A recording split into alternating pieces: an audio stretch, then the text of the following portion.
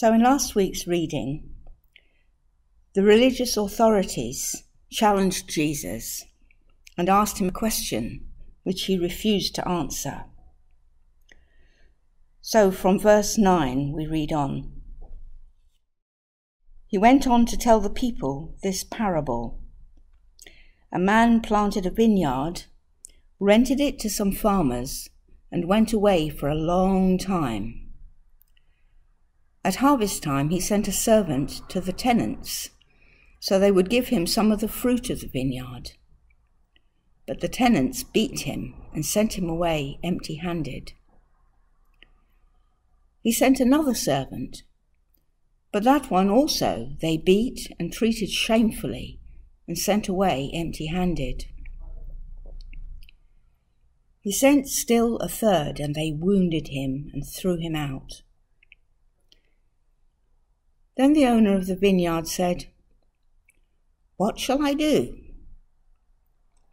I will send my son, whom I love. Perhaps they will respect him. But when the tenants saw him, they talked the matter over. This is the heir, they said. Let's kill him, and the inheritance will be ours. So they threw him out of the vineyard and killed him. What then will the owner of the vineyard do to them? He will come and kill those tenants and give the vineyard to others. When the people heard this, they said, God forbid!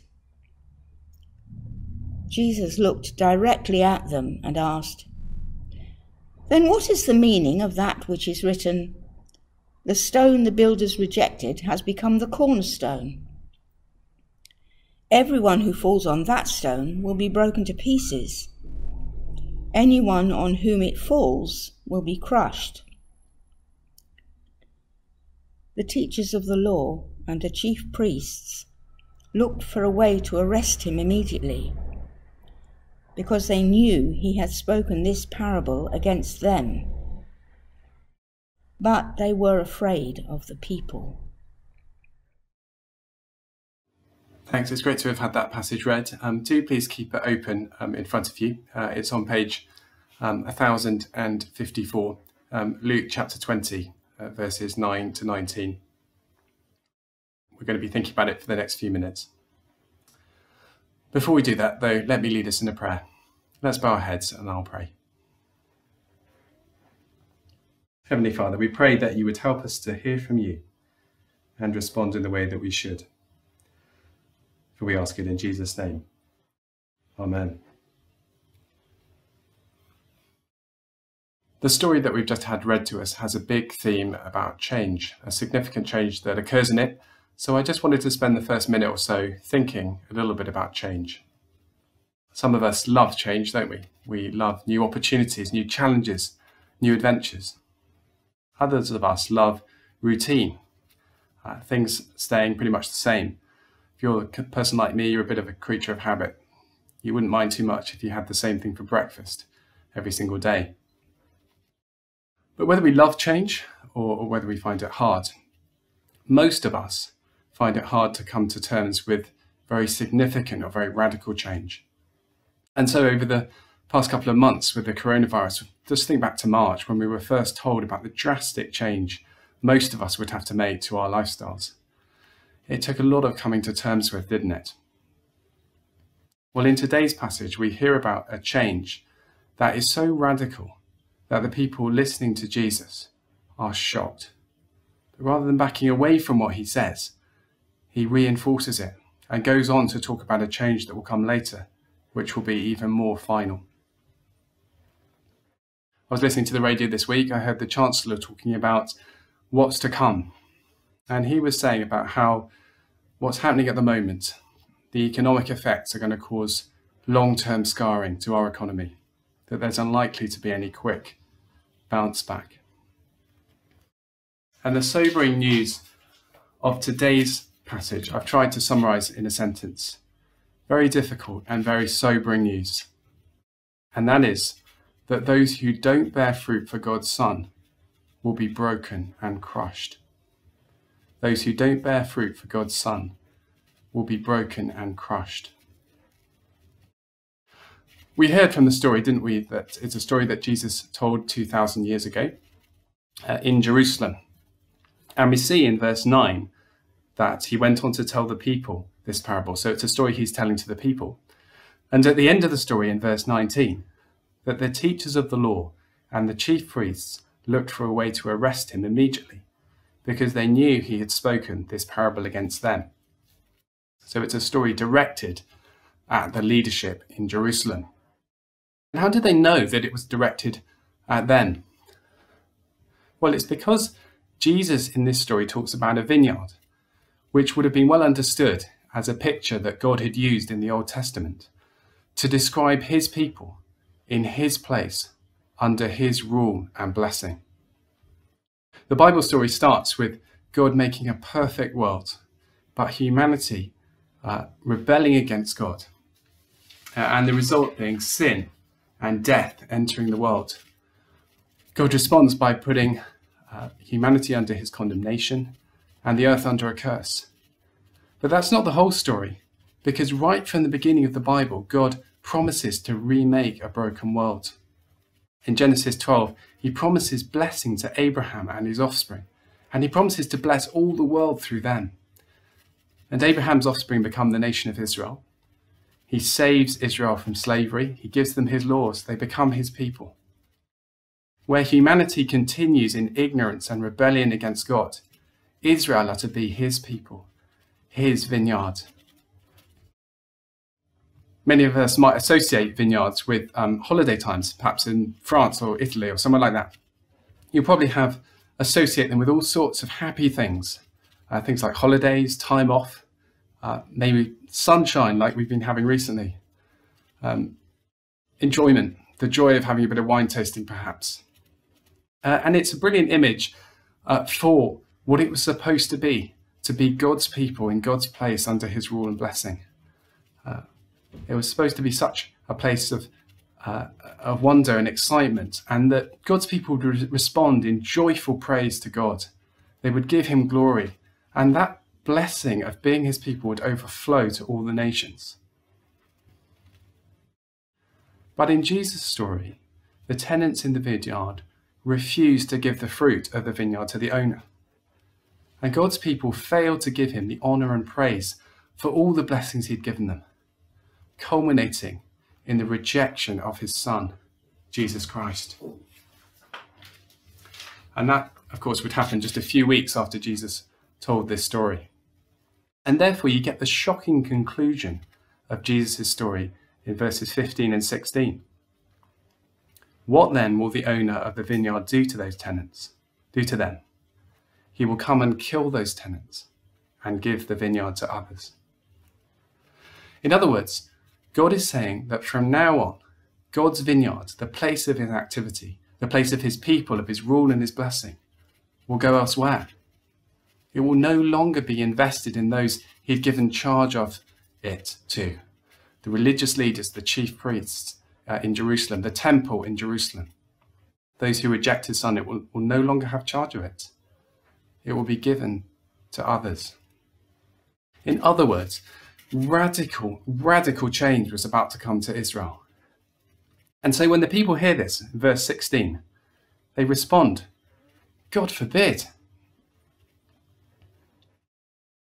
Matthew, Mark, and Luke record this parable, but only Luke chooses to focus on the reaction of the crowd um, who react in this way, those who are shocked by what Jesus says, that charge of God's vineyard will be taken away from those who reject his son and given to others. And we may wonder why anyone would be shocked at this. After all, if you had a buy to let property and your tenants behaved like the people in this story, would you be as patient with them as God is patient with the tenants in this vineyard? Verse 10 The first servant, at harvest time, he sent a servant to the tenants so that they would give him some of the fruit of the vineyard. But the tenants beat him and sent him away empty handed.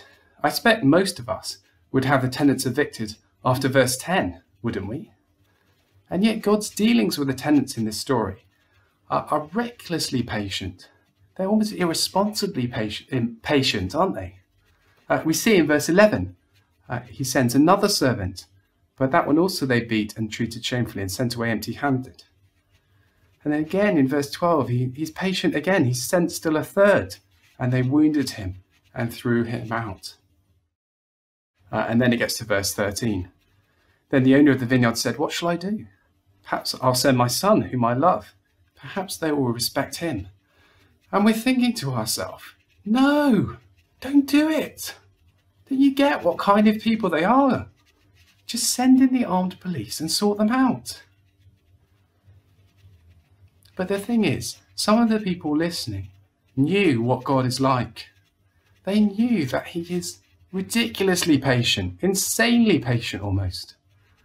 God describes himself in the Old Testament again and again as slow to anger and abounding in steadfast love.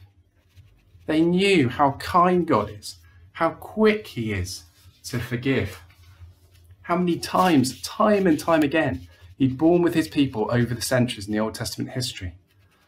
So, God forbid, was now really the moment when God was going to take the charge of his vineyard, uh, that his people his place would move elsewhere, that they would no longer be under the leadership of Israel? And the answer is yes. That really was going to happen. Verse 17 Jesus looked directly at them and asked, Then what is the meaning of that which is written? The stone the builders rejected has become the cornerstone. And verse 18 Everyone who falls on that stone will be broken to pieces Anyone on whom it falls will be crushed. Jesus here uses language from three places in the Old Testament from Psalm 118, from Isaiah 8, and from Daniel 2. Psalm 118 The stone the builders rejected has become the cornerstone. The leadership in Jerusalem would reject Jesus, but, Jesus, but God would raise him from the dead and make him the cornerstone of God's people and God's purposes in the world. From now on, God's people would be those who are built on Jesus. And then the language from Isaiah 8 everyone who falls on that stone will be broken to pieces. That is to say, that everyone who fails to recognize Jesus as who he truly is, as God's Son and the Christ, will be broken to pieces. That is, so long as they reject Jesus as the Christ, they will have no share in God's vineyard. They'll have no share in the joy and the privilege of being part of his people or working for him in the present age. And Daniel 2 anyone on whom it falls will be crushed, uh, which is a picture of final judgment. For those who persist uh, in not recognizing Jesus as God's Son and the Christ, the one to whom this world and all its fruit belongs. They will end up being crushed under his eternal condemnation. Radical, radical change. Those who don't bear fruit for God's Son, Jesus is saying he will be broken. And if they still don't turn to him, in the end, they will be crushed. It's a devastating, devastating thing to say, isn't it? A devastating truth. And yet, isn't it also right? Verse 14 When the tenants saw the son, they talked the matter over. This is the heir, they said. Let's kill him, and the inheritance will be ours.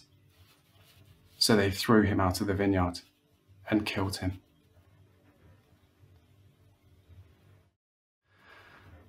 So, what does all this mean for us? Well, I've summarized the message of this passage as follows Those who don't bear fruit for God's Son will be broken and crushed. And so, what's the meaning for us? Well, I think it's a warning to us. So, I've summarized it this way So, beware. There, but for God's grace, go you and me. Those who don't bear fruit for God's Son will be broken and crushed so beware. There but for God's grace go you and me. There is one glimmer of hope for you and me in this passage, and it's in verse 16. he will come and kill those tenants and give the vineyard to others. If you're one of God's people here today, it's because of God's gift of his grace. Because can't we see in our own hearts the same attitude, or at least an attitude which is similar to the tenants, of wanting to enjoy the fruit of God's vineyard, but not give him the best of it? All of us deserve to be broken and finally crushed. And yet Jesus was broken and crushed on our, in our place on the cross so that we might live, so that we might be part of God's building project, a place built on Jesus, the cornerstone, to live for his honour and glory. And if you've come to know that wonderful gift for yourself, then I take it this passage is a warning for us not to forget it or to move away from it. Though Jesus Christ changes us when we come to him, uh, so that we really can live for his honour. Yet we all fail to do that as we should. And yet there is no end to his grace and mercy and forgiveness for us. The one danger that we must avoid is to forget that we need his grace at all and to move away from seeing our need for Jesus Christ and to live for him. That's a danger for everyone who calls themselves a Christian, however long you've been a Christian whether you hold a position of Christian leadership, whether you're part of an institution that's been Christian for hundreds of years, or a country that perhaps does or used to call itself Christian. That danger of forgetting our need for God's grace. Maybe someone's listening today and you've never put your trust in Jesus as God's Son. Can you see how outrageous it is to live in God's world without giving Him any acknowledgement? just as those tenants in the story did. And can you also see the wonder of God's mercy? That He didn't just wind the whole project up, that He gave the vineyard to others, so that all who come to Christ for cleansing and forgiveness can enjoy life with built on Him, the cornerstone. So, this passage would warn us of our need for God's grace. But I think it would also warn us about how we view others who don't follow Jesus Christ. The thing is, after Jesus died and rose again and ascended to heaven, for a while the temple kept on standing. The chief priests and the teachers of the law in Jerusalem kept on doing their thing, and in many ways they grew in influence and power. They bore down hard on those who claimed that Jesus is the Son of God. And so Luke wrote his gospel so that his readers would be certain that Jesus really is God's Son. He really is the Messiah, the fulfillment of all God's promises in the Old Testament. That Jesus really is the cornerstone and foundation, and that from now on, those who follow, those who are God's people in God's place under God's blessing, are those who are built on Jesus and that confession of Jesus as the Son of God.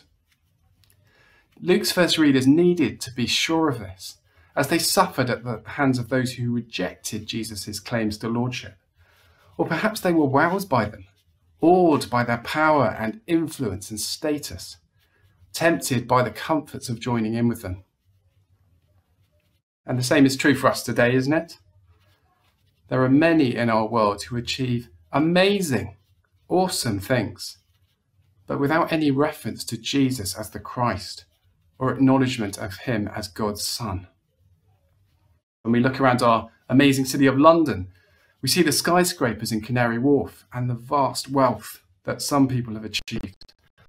The scientific, scientific and technological advances by the Googles and the Teslas of this world, or the wonderful works done by charities, the amazing wisdom and insight of some people in our society. And we can wonder, can't we, can it really be that those who seem to be so fruitful in their life if they don't acknowledge Jesus as the Son of God, then they have no part in God's blessing in the world today and face a future of condemnation. And yet, that's what this passage clearly warns us. It's possible to do fruitful things. Who knows? Those tenants might have actually been quite skillful vine dressers. It's possible to do things that God wants, even, yet if we do them with no reference to his Son, well, we're just like the rebellious tenants in Jesus' story.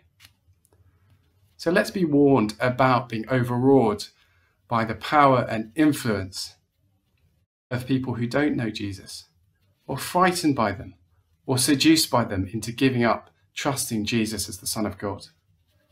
Let's instead be concerned for their salvation, for that is what God is doing in our world today. God's vineyard in our world today is those who are built on Jesus Christ as the cornerstone, who are living for Him and seeking to further His mission to seek and to save the lost. And in particular, this passage should make us long for and pray for the salvation of our Jewish friends and neighbours who are outside God's people so long as they don't recognize Jesus as his son but who God wants to bring into salvation through Jesus Christ. So I've just got three quick questions it might be helpful for us to think about. Are you persuaded that judgment is coming for those who reject Jesus Christ? Secondly, why do we find it hard to believe that judgment is coming? And thirdly, how does it change our perspective on our lives? I think we're going to sing in just a minute. Um, but before that, uh, let me pray uh, as we close. Let's bow our heads and pray.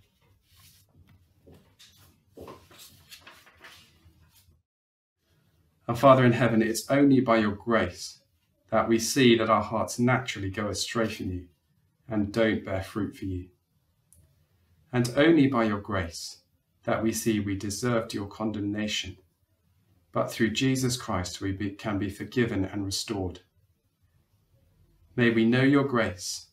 Please keep us in your grace, that we may beware of the end of those who don't respect your Son. Give us grace each day to be able to do your business and to acknowledge you in all we do, that we may bear fruit for you.